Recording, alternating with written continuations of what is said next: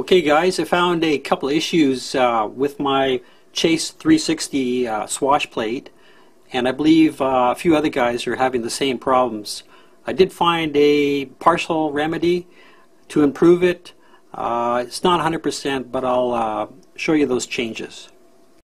Okay, the first problem is with this uh, swivel bearing. This is actually brand new. It's not even been on the helicopter yet. And I don't know if you can see that or not, but you can see here the ball is quite loose in the outer race. Uh, this is just uh, it, it's it's just not acceptable. You're going to get a lot of play and wobble with the uh, swash plate. Now I was able to find a replacement bearing. Um, I wasn't sure if it would fit or not, but this is actually off a Goblin 380 swash plate, and it is exactly the same size and it fits right in this swash plate.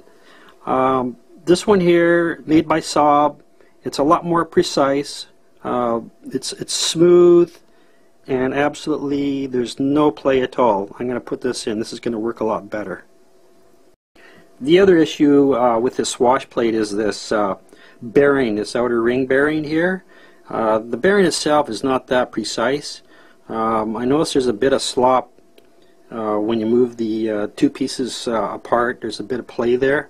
I don't know if you can see that or not, but it's it's the bearing itself, and um, because of the way it's manufactured, there's no way of uh, replacing the bearing. This uh, this inner ring, this red piece here, is uh, appears to be stamped or punched over, so there's no way of um, changing that. So from now on, I just I'm just going to have to live with it.